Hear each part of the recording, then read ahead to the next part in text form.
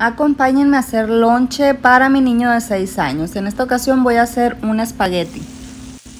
Ya preparé la carne molida, la condimenté, le puse algunas especias, realicé estas bolitas, entre ellas algunas muy chiquititas, que de esa manera van a caber mejor en su recipiente. También tengo el agua ya hirviendo para echar el espagueti.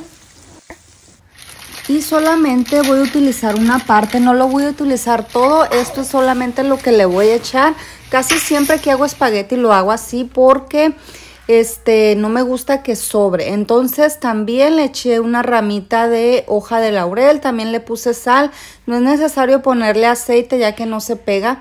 Voy a utilizar esta salsa de tomate que trae ajo rostizado. La verdad no es de mi favorita, pero es la única que tenía. Así que solamente voy a estar utilizando la mitad y también le voy a agregar otra salsa de tomate sin condimento. Esto es para rebajar un poquito el sabor que trae esta salsa de tomate.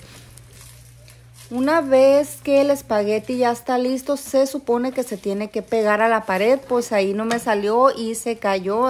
Quiere decir que todavía no estaba escurrido el espagueti, no lo lavé, simplemente lo escurrí y me lo llevé al sartén.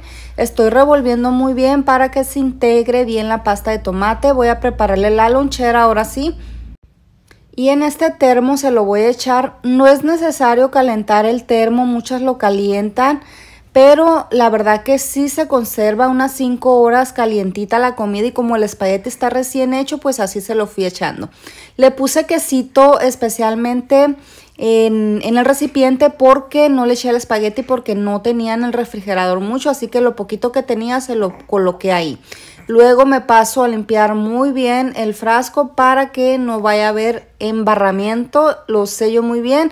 Trae una cucharita, pero en esta ocasión le vamos a poner pues un tenedor Hoy no va a llevar muy adornado el lonche ya que mi esposo amaneció así como muy, muy platicador, muy melancólico y yo me había puesto la alarma desde las 5.15, pues en eso se me fue el tiempo y pues no me dio tiempo de picarle fruta, así que solamente le eché esta salsita que le gusta a él, un, un poco perdón, de queso parmesano y su vitamina.